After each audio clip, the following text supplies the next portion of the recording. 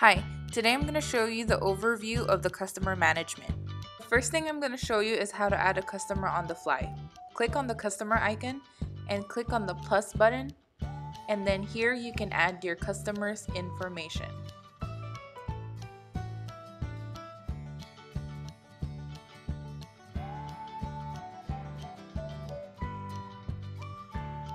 After you're done, just click on save. Now I'm going to explain to you all the different tabs on the customer profile. Overview is a summary of all the information you have on your customer. It's their first name, last name, phone number, email, and from here you can also see their loyalty balance and their gift card balance. You can also see when they last ordered and the favorites that they've purchased from your store. The next tab is open orders. Basically, these are orders that they haven't paid for yet and you can source them out by online, physical, invoice, recurring billing, and reservation. You could also send an invoice to your client so that they would remember when to pay.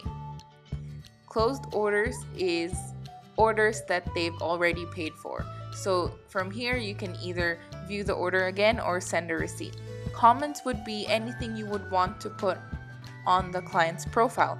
For example, if she is allergic to anything and you would like to keep note of that, you can put allergic to peanuts as like my example and add a comment and then it will be on the customer's profile.